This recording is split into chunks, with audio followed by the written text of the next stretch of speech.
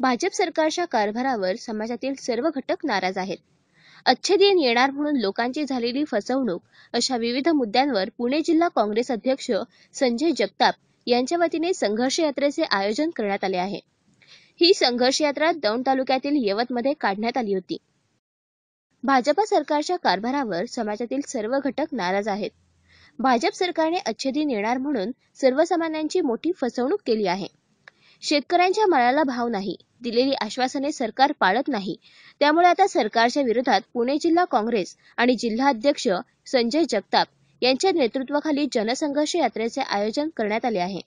अशी माहिती दौंड तालुका काँग्रेसचे अध्यक्ष पोपटभाई ताकवणे यांनी दिली.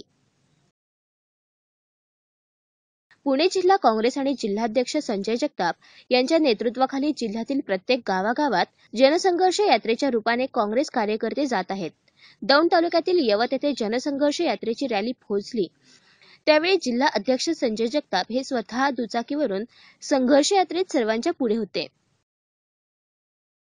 यवत येथील काँग्रेस कार्यकर्त्यांनी फटाके फोडून जनसंघर्ष यात्रेतील कार्यकर्त्यांचे स्वागत केले. यावेळी सरकारच्या चुकीच्या धोरणावर घोषणा देण्यात येत होत्या.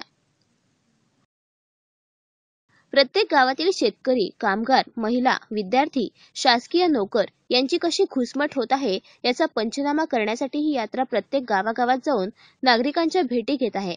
यामध्ये जिल्ह्यातील सर्व काँग्रेस पदाधिकारी सहभागी झाले आहेत.